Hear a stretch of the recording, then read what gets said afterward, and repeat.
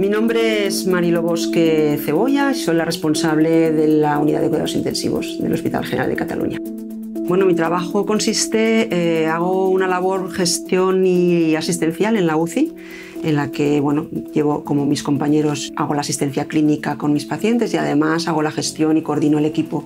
Somos un equipo de seis personas cada, cada día asistiendo a los eh, pacientes de la UCI y hago una labor eh, de coordinación.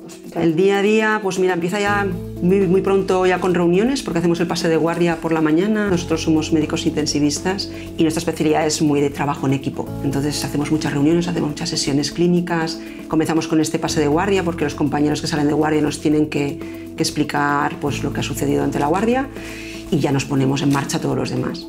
Me ha llevado a ser intensivista el afán por superar retos y mm, siempre me ha gustado ah, plantearme un reto cada vez más difícil y poder superarlo. Para mí es muy gratificante ver cómo podemos eh, superar esos retos y en la UCI es, eh, es el escenario ideal. Me ofrece la oportunidad para poder desarrollarme profesionalmente y poder superar esos retos. Bueno, en cuanto a la pandemia que hemos vivido durante este último año, realmente la experiencia ha sido para todos los intensivistas muy dura. Realmente en la primera ola fue un ejemplo de colaboración entre todos los servicios y departamentos que nos ayudaron. Gracias a ellos pudimos dar salida a todo el volumen de pacientes que llegó eh, de forma repentina y realmente fue bonito ver esa colaboración entre todos y, fue digamos la nota digamos positiva entre todo, entre todo el drama que supuso esto. ¿Cómo mejora mi trabajo la salud de los pacientes? Eh, hombre, ofreciendo lo mejor de, de mi profesión.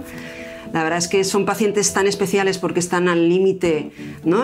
son pacientes críticos que cualquier fallo puede llevarles a la muerte y que por tanto el hecho de que yo me haya formado y tenga eh, profesionalmente capacidad para, para ayudarles es para mí ya es mucho. Una anécdota en los últimos años, pues hombre, la más, la que más eh, quizá mediática fue, fue la, el ingreso de Fernando Alonso cuando tuvo un accidente en Montmeló, en el circuito de Fórmula 1 y estuvo en la UCI tres días y fui yo la que lo, lo llevó como médico responsable de, de Fernando. Fue una experiencia positiva, positiva porque Fernando obviamente eh, evolucionó bien, salió bien y bueno, fue, fue bonito. La salud persona a persona. O sea, yo creo que en la UCI lo vivimos mucho esto porque eh, tratamos de personalizar mucho el trato con el paciente. Son situaciones que muchas veces dejan eh, secuelas durante tiempo y quedan muy, eh, muy ligados a nosotros, al personal que les ha atendido durante ese tiempo. Entonces nosotros somos sensibles a esto y realmente les damos una atención lo más personalizada posible. Formar parte de Quirón Salud para mí ha sido una oportunidad para aprender a gestionar, a coordinar personas, eh, ya no más allá de la asistencia. Y, la verdad es que profesionalmente me he podido desarrollar durante todos estos años en ese sentido.